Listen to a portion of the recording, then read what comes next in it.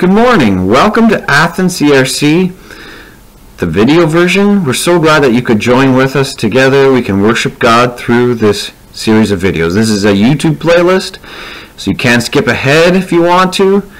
You may have to be patient with, with an ad here or there, uh, but it's not too long. We have uh, three or four songs, we have a couple of Bible passages, and we have a short sermon from Chris towards the end.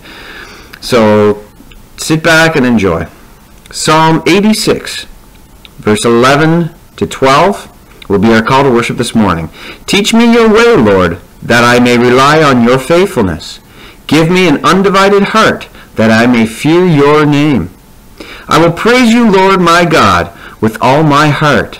I will glorify your name forever.